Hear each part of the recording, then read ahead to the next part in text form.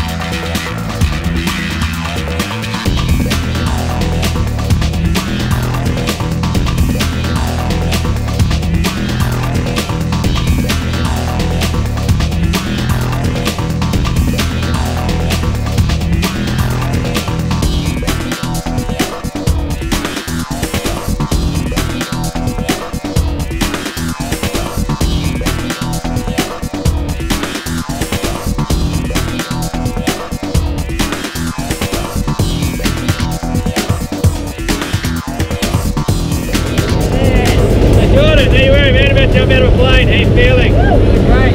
Feeling great? Feeling good? Yeah. Ready to kick your dad out if he tickets out? Yeah. Awesome, mate. Put it there, my friend. Have a good jump.